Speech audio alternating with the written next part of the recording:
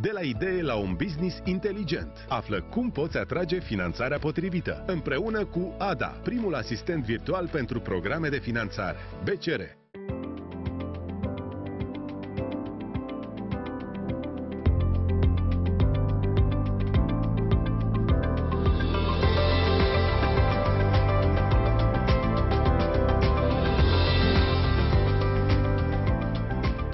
Salutare dragilor, bine ați revenit la Banii în Mișcare, emisiunea de înțelepciune financiară cu sfaturi pentru oameni și business-uri inteligente.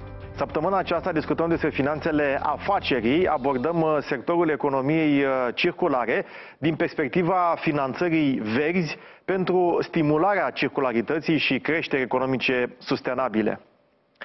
Trebuie să ne uh, preocupăm din ce în ce mai concret, nu doar principial, de creștere sustenabilă. Pentru că resursele sunt limitate și ritmul în care ne dezvoltăm pur și simplu uh, depășește capacitatea planetei de a susține sustenabil uh, toate acestea pe termen uh, lung.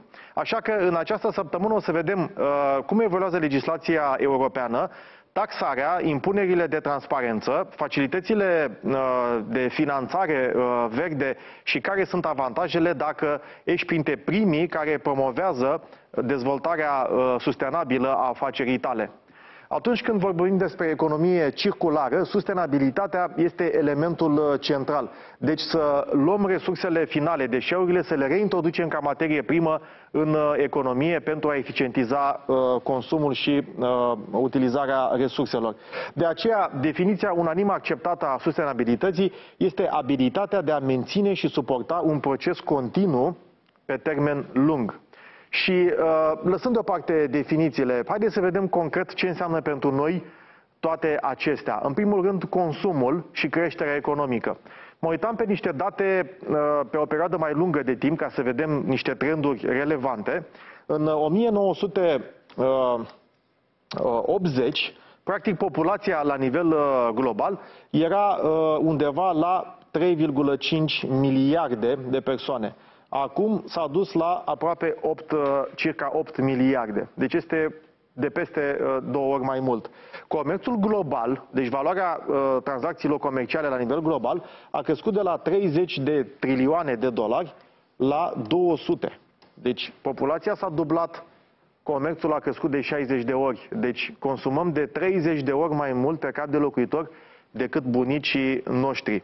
Și ritmul este fantastic, resursele n-au crescut proporțional. Este clar că uh, pe lângă faptul că mai descoperim niște resurse, utilizarea acestora trebuie să fie mai eficientă. De aceea, uh, Comisia Europeană și nu doar în Europa, la nivel global, există această preocupare pentru finanțarea sustenabilă, ESG, adică pentru care uh, promovează protecția mediului, egalitatea socială și guvernanța corporativă, adică o companie să genereze rezultate în mod echitabil pentru toți cei cinci uh, stakeholder, le spunem, uh, interesați uh, de creșterea companiei. Deci avem uh, acționari, uh, angajați, uh, furnizori, clienți și bănci. Uh, sigur, și statul, uh, toate trebuie să rămână într-un uh, echilibru. Practic șase persoane, șase agenți interesați. Uh, în concret, Comisia Europeană a venit cu o politică foarte clară de legislativă de finanțare uh, graduală a companiilor, astfel încât acestea să fie uh, îndrumate, stimulate către sustenabilitate. Nu știu cât de bine se vede, vă spun eu site-ul uh, pe europa.eu, practic intrați pe finance.ec.europa.eu și acolo, la publicații, uh, mergeți pe Sustainable Finance Package 2023, Uh, publicat în 13 uh, iunie uh, anul trecut, care atinge patru aspecte importante.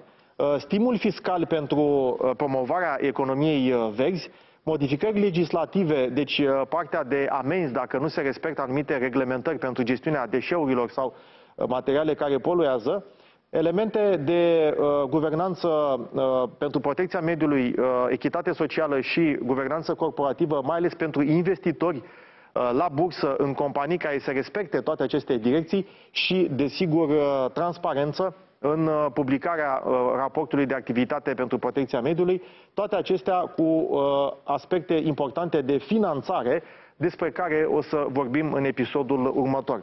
Practic, având în vedere avantajele uh, financiare cu dobânzi mai scăzute, granturi uh, nerambursabile și dezvoltarea, uh, stimularea dezvoltării companiilor către un consum mai eficient de, de resurse, este foarte important să înțelegem ce înseamnă finanțarea verde, și cum putem beneficia de acest capital uh, ieftin pentru o dezvoltare sustenabilă a afacerilor noastre. Așa că țineți aproape, urmează și interviul cu specialiști, până atunci nu uitați, banii sunt întotdeauna în mișcare. Fii înțelept și fă să lucreze pentru tine, familia și afacerea ta.